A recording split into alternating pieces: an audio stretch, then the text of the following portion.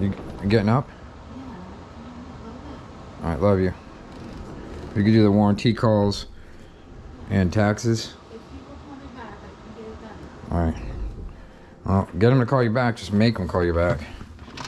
I mean, these people don't want to call us back. It's ridiculous. It's ridiculous. I'll call you back.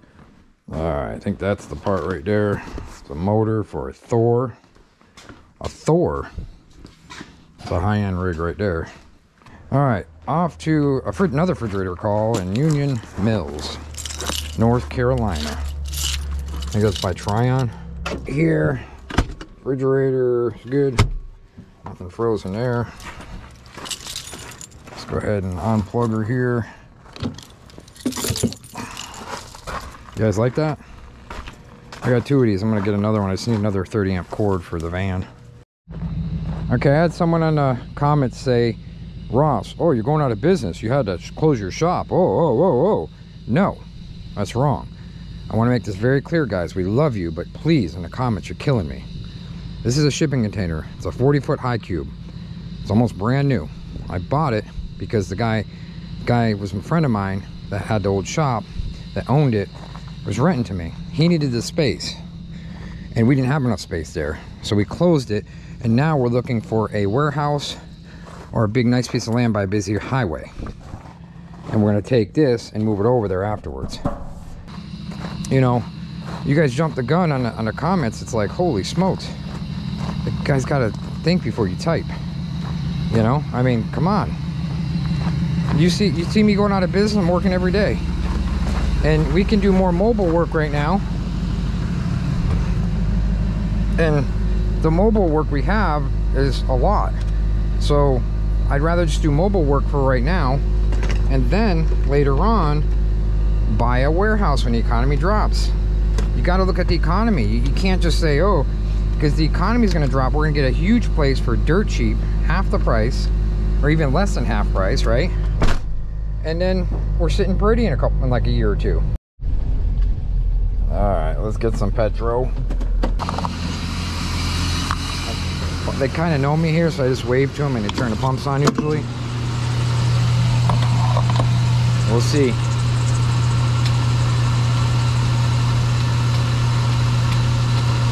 I guess that ain't gonna happen today. I guess I gotta go in.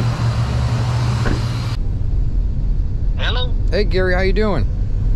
All right, who's this? This is Ross, the Camper Pros guy. Yeah, hey, buddy, what's up? You got a sec? Uh, yeah, just for a second here. Just a second. Hey, um, I, I see you clearing your land out. How's that going? Good? I just ain't had much time to be down there to do nothing, to be honest with you. Yeah, I hear you. I hear you. I'm I uh I'm out of that shop. I got a shipping container and I put all my stuff in. I'm at my house working in mobile. Yeah, But we're looking for land on Sunshine Bostic, so looking for like two acres, two to three acres. If you know any anybody or if you ever wanted to part with some of yours, let me know. Because we could. yeah. Yeah, I, I, can't- I can't sell mine, Ross, I can Okay. just tell you. Yeah, I, can't- I can't sell it, buddy. I, I got too much land behind it, and, uh, Yeah. well, it, it just, uh, I, I just can't do it, you know. I, I got 300 acres behind it, you know what I'm saying? If I Yeah. sold, if I, if I sold you two acres right there, then I got uh, I got 305 acres behind it. You know, and, and Yeah. that's You don't want to sell the front road area because then you'll. Yeah, I understand. You I understand. No big deal. I just, I figured, uh, I just, I figured I'd ask. My dad always told me, go ahead and ask. It doesn't hurt anything. Uh, now I might rent you something or something, you know, or something like that. Uh, short term or something like that, I, or you know, or whatever. Well, scratch that idea because no one wants to get rid of their land. I'm pretty aggressive and I do ask because my dad always, my dad taught me some one good thing. He says, it's not going to hurt to ask. Open your mouth. Not going to hurt to ask. Just ask nicely and if they say no, then you walk away. And, uh, you know, the guy doesn't want to sell his land. So he's got 305 acres and he wants to put a food truck in front of it. I'm like, a food truck? Hey, you can make a lot more money off me, but I guess he doesn't want to do it. So it is what it is, and uh, I can't make him sell the land. It's his land, and there's nothing we can do about it. We can't do roofs. We're passing all these roof jobs up, but what are you gonna do? They don't want to sell. They don't want to sell. And I'm waiting for the economy to drop, but it's not like it's dropping. The houses are dropping, but the land's not dropping because no one wants to get rid of it. You got to talk them into getting rid of it, and that's nearly impossible. You heard it. You don't want to get rid of it. No one wants to get 300 acres. You don't want to get rid of one three acres of it because it's the road front. And I get it. I get it, but it's a little irritating.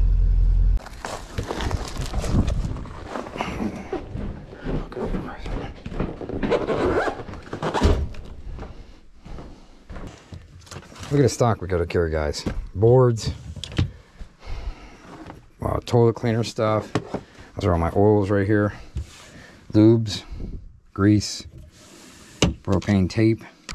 A brand new Craftsman set. Both ratchets locked up. Both ratchets. I don't think I'm buying Craftsman anymore. This is I'm having too many problems with them. I didn't even put much, much pressure on it.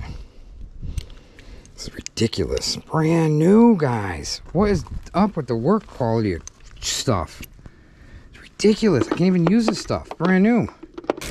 Oh, I'm surprised it didn't lock up. Usually it does. I had to take this wiper motor off real quick. Okay. Open sesame and don't fall out, tools. Oh, of course they do. Had better luck with DeWalt. I know they're both China, but Listen, I can't spend a ton of money in tools, guys. This was like $200 box, but I got it for 150 I got two of them. for the One for the van, one for the ambulance. But here's the thing. That's a nice Craftsman set. But DeWalt I've had way, way better luck with. Holy cow. It took me about 25 minutes, 30 minutes just to get that damn thing out of there. There's bolts here, here, here. And you just can't get to them. Holy cow, guys. This is ridiculous. Should be able to get that out in 10 minutes, but not this one. It took me all that time just to get this thing out of it. I don't know what it is, guys, but I'm getting pretty busy. Um, right after this Christmas, I didn't have any jobs for two weeks because I left for Christmas for Florida. But right now, it's like everything just turned and we're getting slammed, and I'm the only guy now, which is fine because Walt will be back in a couple days. But holy smokes getting slammed all at one time. Dead winter. I didn't think this was going to happen. I thought we are going to die with the economy, but people are still spending, I guess. So I got to make sure this block didn't crack. This motor right here is diesel. I put straight antifreeze in. I thought it'd be good, but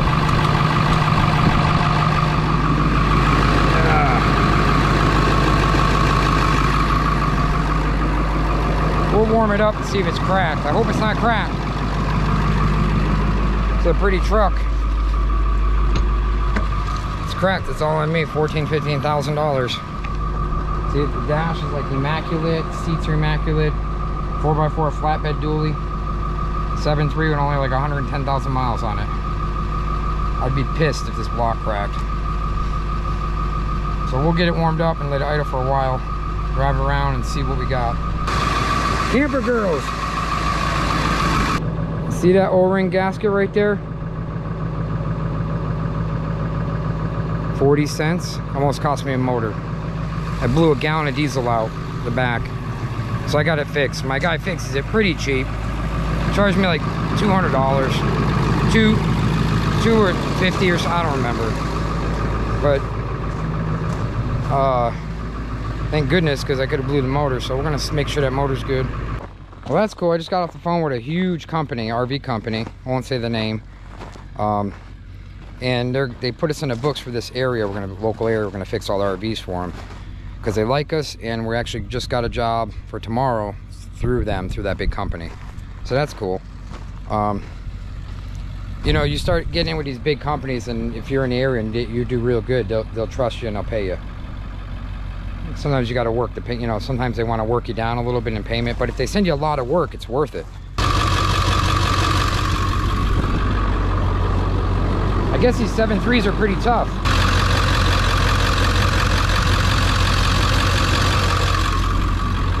Woo! Okay, we're up a I have no clue. I've never seen this, but the guy built a big RV park here. Isn't that crazy? Way out in the woods. That's awesome. We're building parks everywhere. Just keep building them because then we can keep making money. It's burning too rich, so he's probably got something spiders in there or something. A couple of them would clog it. There's got to be more in there. Holy cow. Told you. Wire tie, guys.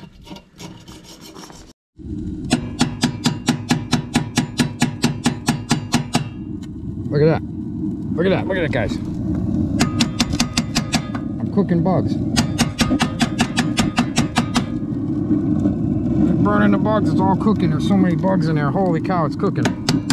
Going for a tour now. New, brand new RV park. Brand spanking new. Guys, nice enough to show me around. I'm going to show you guys. Oh, the river's right here. Look at that, guys. He's going to have tubing here and everything. This is in Kaser. Is it Kaser, North Carolina? Kaiser, Kaiser. You're Golden Valley. Golden Valley. Way out here in the woods, but I mean, I'll tell you what, it's pretty out here. Look at that. Look at the ice still. Holy smokes. Cool. It's a, a, great swimming hole. So it's about that deep on me, all the way to that rock. Oh, you been in there swimming? What's that? You been in there swimming? I swim all the time. My kids stayed in here all summer. Oh, that's cool. It's uh, Going like straight uphill.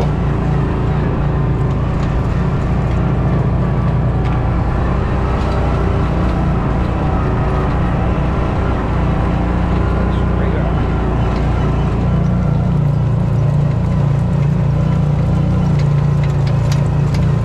Well, you put this thing through a workout. you can see the Blue Ridge Mountains. in Blue- distance. oh, the Blue Ridge, yeah. Straight up through Golden Valley. Right South there. Mountains to your right. Yep. Listenberry Mountain, this Nut Knoll, and then That's- you got Cherry Mountain over here. So Oh, that's Cherry Mountain over there. Cherry Mountain, Listenberry. So we're kind of in the foothills a little bit. Yeah, we're in the foothills. on the foothills. Yeah. Okay, guys, we'll catch you later. I had to stop real quick. I talked to the guy for like two hours. Real nice guy. He's open RV park, so you know, most RV park guys are nice because they give you calls. But um, I just, I just saw a 1,200 pound pig. 1,200 pounds for a pig. So guess what? I took a picture of it. I'm gonna show you in the beginning. It might be my thumbnail. That's a good one. Have a good night, guys. See you. We'll see you